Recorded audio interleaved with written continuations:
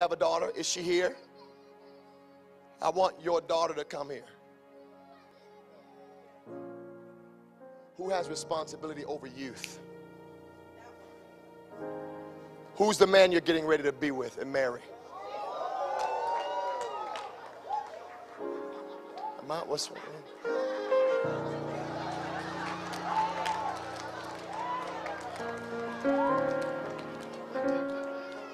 You stand right here. Are you a Turner? What's your last name? Come here, stand here.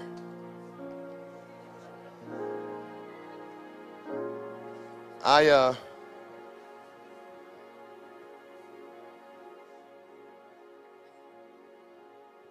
I'm going to give you the word of the Lord concerning a recent conversation the two of you just had about the subject of stagnation and the subject of feeling like though you've labored and done it right, then you've not been rewarded. You, I want to say Anna, what's your name? You have been so frustrated about your career. It has seemed as if there are those that are less competent than you, less qualified than you. Matter of fact, I see you driving in a car out by Richton Park and you're having a conversation on the phone coming off of that that uh, sub that it's a it's a housing division there and you're grieved talking with the lord about what's next for school what's next and why it seems that though you've been serving here your life has been on hold. I tell you as a prophet of god tonight that python is coming off you. There is some surprise money coming to you from a grant for african american women because you're going to do what you do now for a couple of years, but then you're going to stand as a professor. I see you educating students around the world and lecturing and writing dynamic books because God is proud of you. Sir,